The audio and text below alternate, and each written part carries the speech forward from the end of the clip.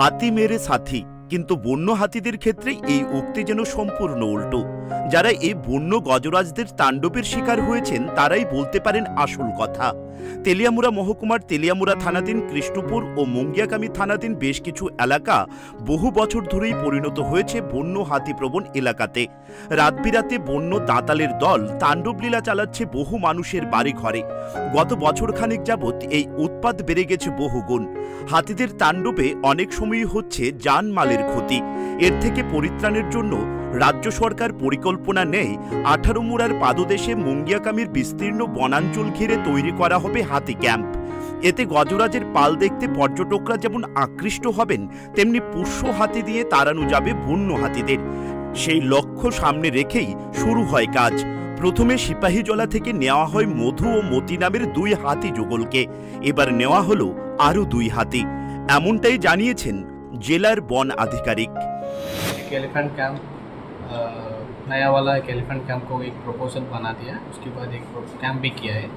अभी that camp has been send for notifying government of Tripura in the meantime the elephants from uh, Sefajala has to be shifted to the camp for conservation and uh, uh, इसके लिए भेजा।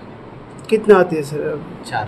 पहले दो लेके आया recently we taken another two बाकी दो को कब लेके आए? पहले दो लेके आया कल बाकी लोग दो ना ये भी लेके आया नाम नाम चारों ला के एक हाथी भी इधर लेके आया सर नाम क्या है इन लोगों का? अ, चार हाथी का नाम एक अ, गीता है एक किशोर एक मोती और एक मधु मधु একসময় এই এলাকাটিতে উগ্রপন্থীদের দৌরাত্মে বারুদের গন্ধ ছড়িয়ে পড়েছিল খুন, মুক্তিপণের দাবিতে অপহরণ, গৃহদাহ ইত্যাদি ছিল নিত্য নৈমিত্তিক ঘটনা। জাতীয় সড়ক ধরে যানবাহন চলাচলের জন্য নিতে হতো পুলিশি নিরাপত্তা। এখন অবস্থার পরিবর্তন হয়েছে।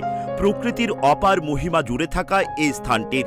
তাই জাতীয় সড়কের গা ঘেঁষে থাকা বিশাল বনাঞ্চলকে পরিণত করা হচ্ছে হাতি ক্যাম্পে। এতে একসাথে অনেক হাতি দেখতে পারবেন পর্যটকরা। তবে সিপাহীজলা থেকে গাড়ি যোগে অনেকটা পথ অতিক্রম করে নতুন যাওয়া দুটি হাতি কেমন আছে তা জানালেন এক বনকর্মী। এখন মানে কীরকম হাতিটি সুস্থ আসেনি হাতি সারাটাই সুস্থ খাওয়ান দাওয়ান সব একদম দিদি কই থেকে আনা হয়েছে হাতিটি? শিবের জলা থেকে। সিপাহী জলামে আর হাতি আসেনি? হাতি তো আসে না আসে না যেত চারটে হাতি আমরা এই সাইটে থেকে আনছি। এখন সিপাহী জলা হাতি নেই? না, এটা তো অফিসাররা জানব কবে নাগাদ পর্যটকদের জন্য পুরোপুরি উপযোগী হয়ে উঠবে এই হাতি ক্যাম্প? সেই অপেক্ষায় আছেন পর্যটন পিপাসু মানুষ। Bureau report, Times twenty